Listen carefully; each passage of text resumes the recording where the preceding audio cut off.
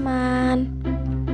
Teman-teman sudah tahu belum kalau ketika kita makan dan minum itu terdapat kebaikan di dalamnya kalau kita mengikuti adab-adabnya.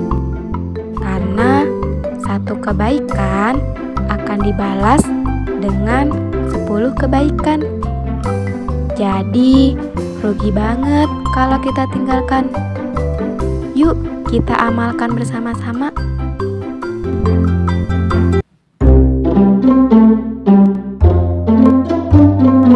Adab-adab makan dan minum. Yang pertama, mengkonsumsi yang halal. Yang kedua, berdoa sebelum makan.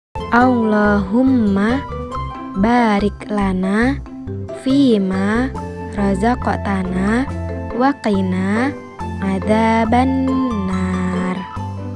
Yang ketiga, makan dan minum sambil duduk la tashrabanna ahadukum qaima yang keempat menggunakan tangan kanan.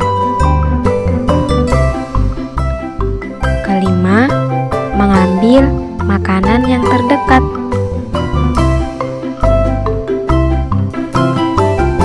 Keenam tidak meniup makanan. Ketujuh tidak berlebih-lebihan atau tidak membazir.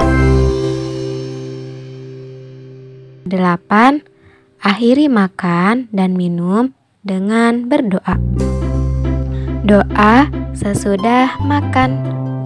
Alhamdulillahilladzi at'amana wa saqana wa ja'alana minal muslimin.